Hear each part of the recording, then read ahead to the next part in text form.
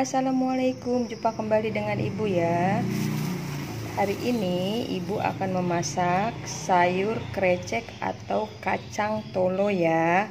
Nah sebelum ibu melanjutkan video ini jangan lupa untuk subscribe nyalakan juga lonceng notifikasinya agar tidak ketinggalan video-video ibu berikutnya nah untuk bahan utama ini ibu Nah, membeli kacang tolonya ya. Ini kacang tolo. Tuh. Ya. Dan tak lupa Ibu tambahkan juga daging ya. Daging selamur. Tuh, nggak begitu terlalu banyak gaji ya.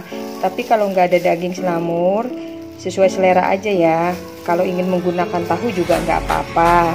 Nah, di sini Ibu tambahkan juga karena kita ingin membuat sayur kacang tolo krecek ya jadi ibu tambahkan kerupuk kulit yang untuk di sayur ini kerupuk kulitnya yang untuk sayur ya nah sebelum ibu melanjutkan untuk bahan-bahan selanjutnya terlebih dahulu kacang tolo ini akan ibu rendam kurang lebih selama 10 menit.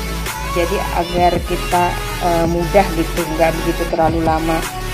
Nasi sudah direndam nanti akan ibu rebus ya. Ini kurang lebih 10 menit juga karena kan udah direndam jadi nggak begitu terlalu lama. Dan untuk dagingnya ini ibu akan merebusnya juga ya. Nah setelah kacang tolo ibu akan merebus daging ini ya daging selamur. Jadi biar sama-sama empuk kacang tolo dan daging selamurnya. Nah bahan-bahan selanjutnya yang kita perlukan. Nah teman-teman ini kacang tolo yang tadi ya yang udah ibu rendam kurang lebih selama 10 menit ya agar kita lebih cepat dan mudah mengerjakannya ya proses selanjutnya bahan-bahan dari bumbu kacang tolo ini terdiri dari nah bahan-bahan untuk krecek kacang tolonya yang diperlukan terdiri dari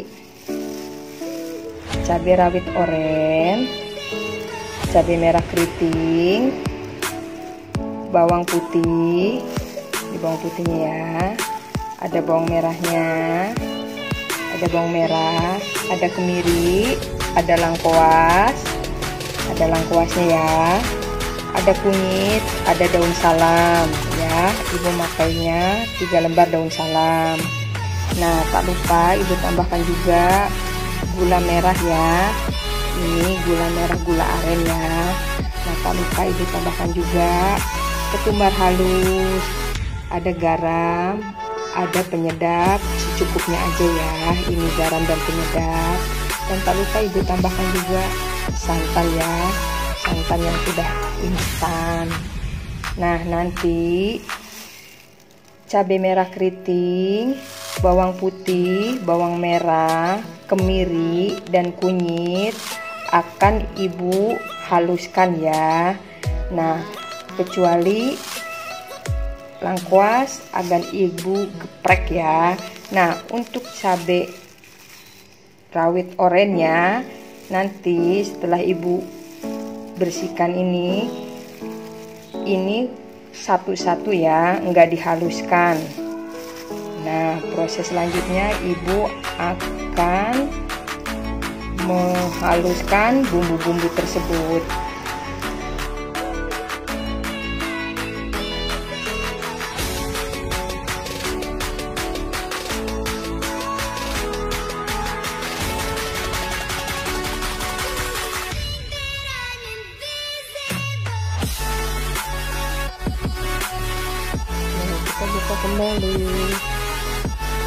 ini sudah mendidih ya teman-teman. Daging selamurnya dulu. Kita rebus kurang lebih selama 10 menit. Kita cek kembali daging selamurnya setelah 10 menit. Dan kita juga kacang telurnya ya bersamaan dengan daging selamur lagi selama 10 menit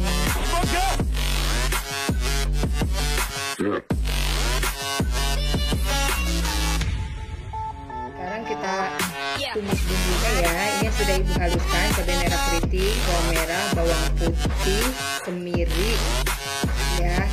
Ini lengkap ibu hanya geprek ya.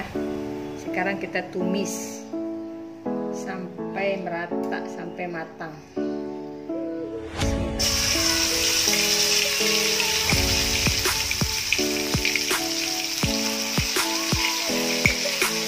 ini cabai merah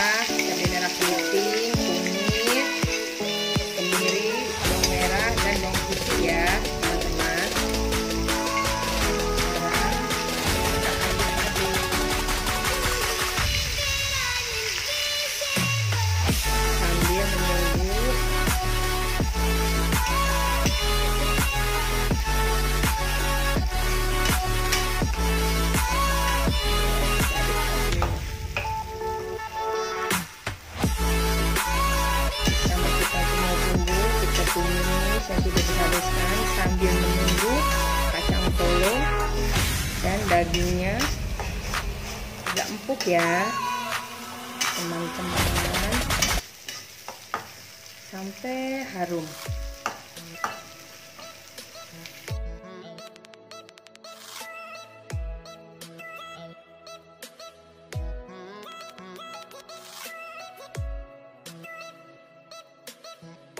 Kita aduk-aduk. Sekarang kita masukkan lengkuasnya ya. Dan tiga lembar daun salam kita aduk-aduk kembali. Sampai harum sampai matang ya teman-teman. Sekarang ibu masukkan ketumbar halus ya. Garam penyedap rasa secukupnya ya sesuai selera aja. Lalu kita aduk-aduk kembali sambil dicek rasa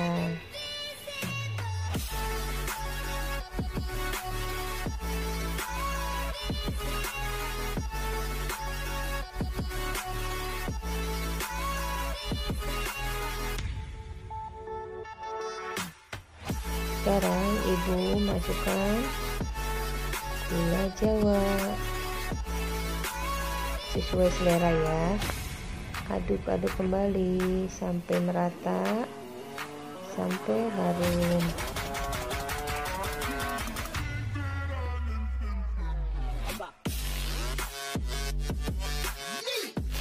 Ini sudah matang ya ibu menumis bumbunya. Kita matikan dulu kompornya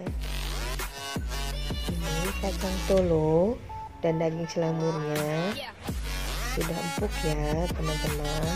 Ibu masukkan bumbu yang tadi sudah ditumis. Kita aduk-aduk kembali. Jangan lupa untuk dicek-cek rasa ya. Ibu masukkan juga cabai merah oranye ya. Kita tutup kembali. Jangan lupa kita buka kembali. Kita aduk. Sambil dicek rasa ya. Ini kacang tolonya dan daging selamur di sini ibu akan menambahkan santan aduk kembali. Jangan sampai pecah ya santannya. Kita aduk ya jangan sampai pecah santannya.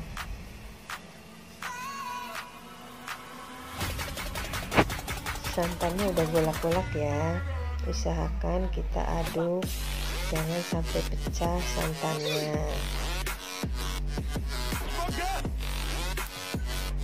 sekarang ibu akan memasukkan kerupuk ya.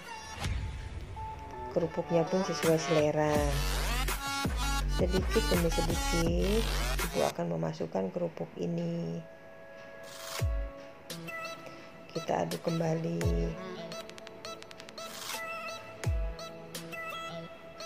Sampai merata ya. Kita tambahkan kembali kerupuknya sesuai selera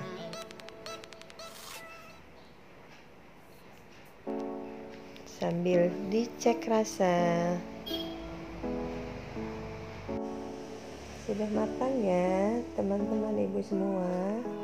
Siap dihidangkan. Selagi hangat.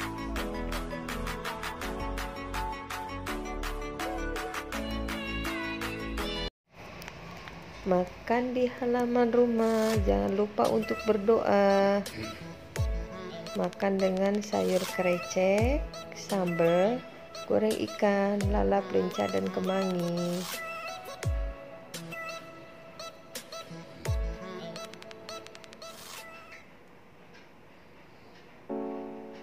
Ini kreceknya ya, teman-teman ibu semua.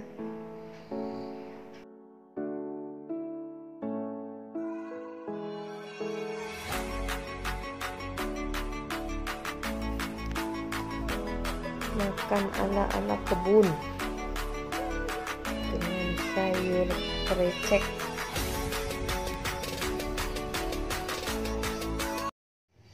selesai sudah menu ibu untuk hari ini. Sayur krecek kacang tolo ya. Campur daging selamur. Dan kerupuk kulit Nah, semoga bermanfaat bagi teman-teman ibu semua ya. Selamat mencoba. Ibu akhiri. Wassalamualaikum.